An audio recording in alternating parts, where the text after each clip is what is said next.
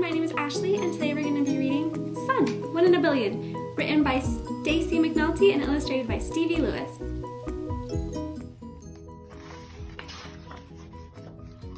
Once upon a time, about 4.6 billion years ago, a magnificent and important star was born.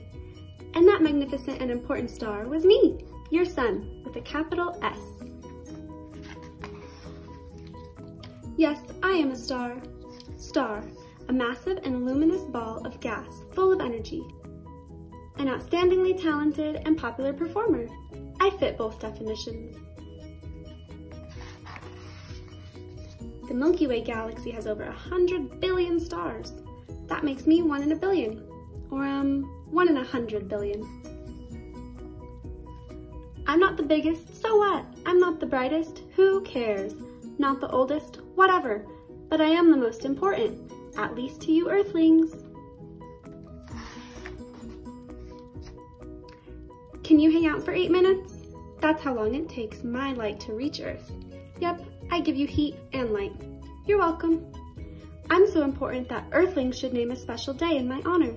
We can call it Sunday. Oh, wait. I'm famous for my heat and light, but I also hold our entire solar system together. Scientists call it gravity. What can I say? The planets are attracted to me.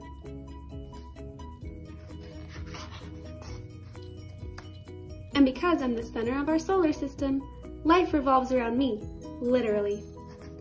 Neptune, Uranus, Saturn, Venus, Earth, Mercury, Mars, Jupiter. Look, they all go in the same direction.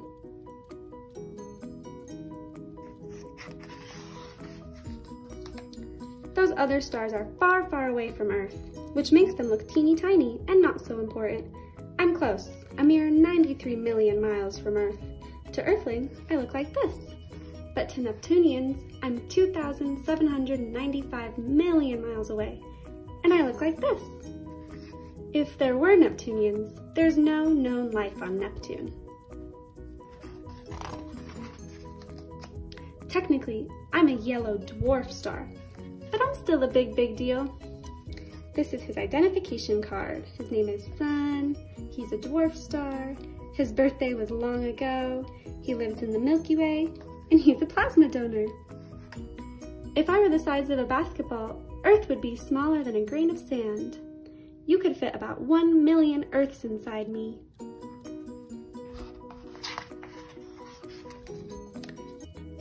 But you can't fill me with Earths because I'm hot stuff. Compare. A hot summer day, 90 degrees Fahrenheit. A pizza oven, 700 degrees Fahrenheit. The yellow-orange flames in a campfire, about 2,000 degrees Fahrenheit. Me? I'm about 10,000 on the surface. I can melt diamonds. At my center, I'm two, 27 million degrees Fahrenheit.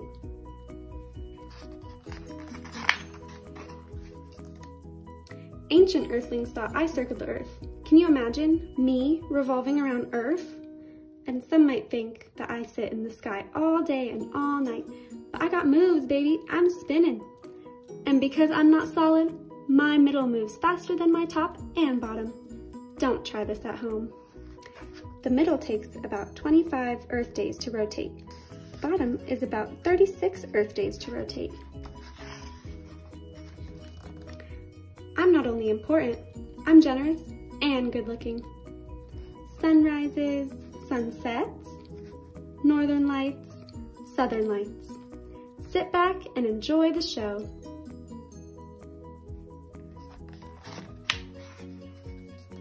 Sometimes I like to be mysterious and sneak away for a few minutes. Solar eclipse. But don't worry, I'm just behind the moon. Well, I'm astronomically bigger than the moon, 400 times wider. The moon is astronomically closer to Earth, almost 400 times closer.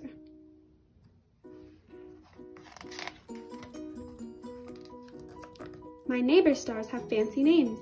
Meet Proxima Centauri, Alpha Centauri A, and Alpha Centauri B. Me, I, I need just three letters. Give me an S, give me a U, give me an N.